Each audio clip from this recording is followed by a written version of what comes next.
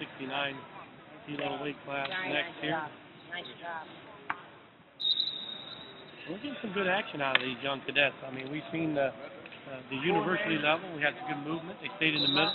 There's not too many push outs. That's, a- that's a good thing. Learning Well, to use inside that circle. Yeah, that's attributed to all those young coaches out there like John Sheldon, Brandon, um, Ivan Ivanov, uh, Mike Powell.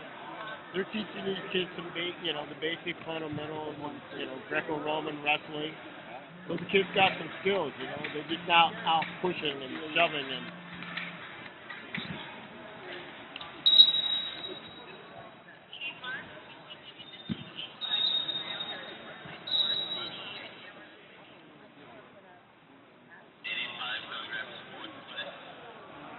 We got uh, Xavier Gonzalez from Illinois. Trying to find out who we have here is uh, Greg LaMont, uh, Grant LaMont from Utah. Grant LaMont from Utah. And Xavier is from Illinois in the blue, correct? Correct. Yeah. Well, we talked about the Illinois boys. Um, I think Xavier is actually from uh, Coach Mike Powell's program, which that program produces uh, Ellis Coleman. Um, and I see Coach Powell sitting over in the corner. And so he coached Ellis Coleman. If anyone doesn't know Ellis Coleman, he's famous for what we call the flying squirrel. Um, did that in our Junior World Championship last year. And um, this young man's coached by Coach Powell. So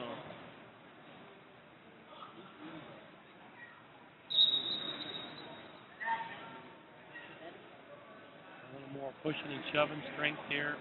Yeah, we yeah, as you said earlier, we're getting up into the bigger weights, so strength comes into um, factor a little bit more. I would like to see both young men, you know, like the last match, either trying to get a two on one and an underhook. They pretty much stood around. So.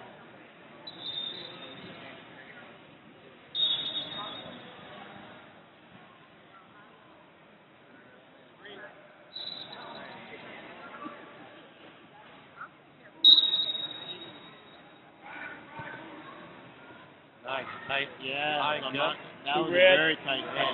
there's another one too. And two red. Locks it up. He knows it. Four red. Yeah. And maybe that's why he didn't want to do much, too much stuff on On his feet. on his feet and get in trouble. He knew he had a nice gut wrench, and it was nice.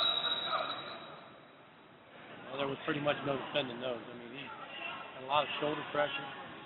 The way he had it locked was really tight. He's confident Yeah, well, the pressure, the difference to that is to move and not get it, let him get it so tight. LaMont will win the first period.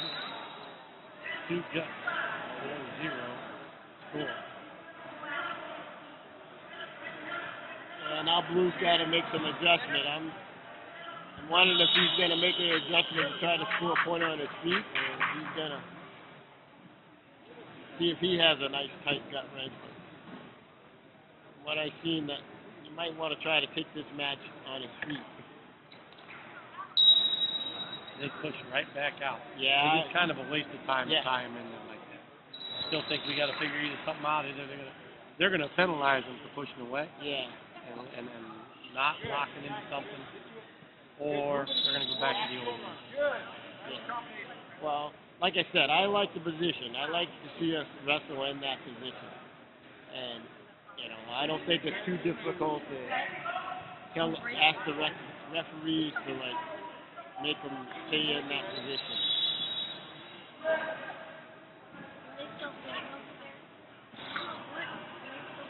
A lot of the a lot of the officials were surprised when they changed that rule this year. I know the Ohio officials when I was talking to them about it, is that uh, they thought there was going to be a lot more tossing right off the bat.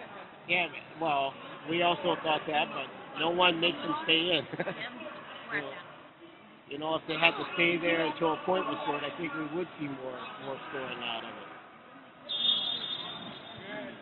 LaMont looks like he's trying a little bit more on his feet, but uh, the young man in blue looks like he's content with going to play the parterre game now.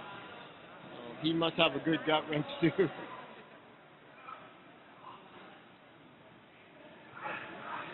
down the last nine seconds for the parterre. Again, like I said, if I was coaching the young man in the blue, he would be like getting underhooked and trying to get to the body right now. Not, especially one, I wanted to make sure this red wrestler was tired. Right, yeah. when he goes down. Yeah. out a little bit. Well, yeah. So that I can get my gut wrenching to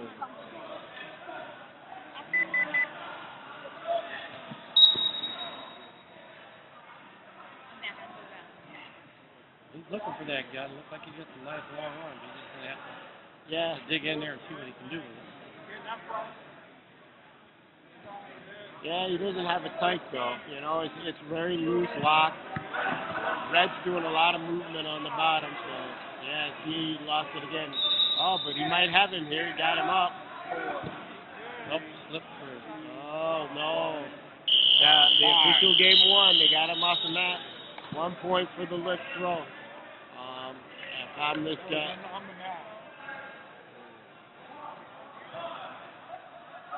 And they're challenging the, the throw. I need to. Red, Red, Red saying that they weren't lifted up off the mat. You know, kind of tough for him to hit this angle, but I, I think it was awful close. He picked him up once, and that, once his feet comes off the mat, Chris, uh, usually that means that you're off the mat. And if he throws You guys you, understand? it's a point. Who's gonna replay it? You gonna replay it? We're just the color commentators. We don't Yeah, we don't we video. don't touch that. We Yeah, we have the officials here thinking that we know how to run the video camera and replay things, ladies and gentlemen. So we're going to be a while. Because Chris doesn't know how to do it, and it's not a camera that I'm familiar with, and if I touch it and break it, it's going to come out of my salary, and I, I don't make enough money for that. Right, young man? And the little man that's running the camera next to me also doesn't want to do it. You don't know how to do it? He says no. He knows how to push the button. Start Adam's- on his way. So we got we're waiting for Adam to come. You know, that's something that they didn't teach Chris and I is how to replay the video review camera. So in this in this position and what's happening right now, like they're going to video review, they're going to watch the video, and the official's got to make a decision on whether he. Ladies and gentlemen, but the jury finally decided with the referee and the judge, it's one point. It's now Is that correct? Yeah. now it's one one. Each wrestler has won a period. One one. This is the third period. Didn't they give him a win loss challenge? Lost challenge plus So after the referee's explaining the scenario to the coach in the red, so now I'll help you guys. The red corner challenge, not only did the blue wrestler get one point for the period, because they challenged, the blue wrestler got another point. So the actual score of this match is 2-2. And we're in the third period. Now when they scored those two, one was for a turn.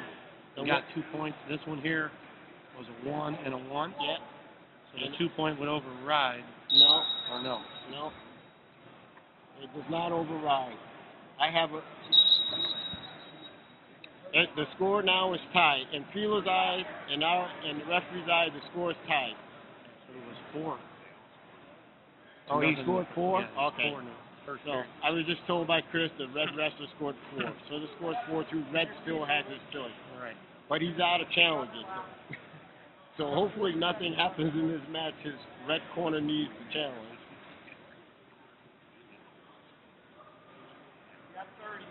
And fighting it, looking at to see what they got. They got 30 seconds left. Yeah. Those are the parterre. And I, I assumed that this was going to happen, you know, after Red lost the, the second period. His coach probably told him not to do much, and we're just going to take top and uh, turn him again. Or he may take bottom. That was a difficult lift that he got scored on. Again, I would have liked to see a little more action. Blue should have taken Red a little more choice. chances. Choice. And, uh, okay. And Red did what we, I would think that he was going to do. He's going on top because he turned him before with ease.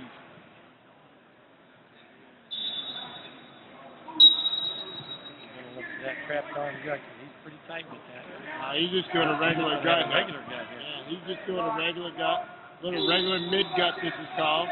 He's doing a good job driving his feet and turning. Two red. Nice and solid. Yeah. 13 seconds left. He's Yeah, still looking score. Yeah, he turned them again, so. Two more red.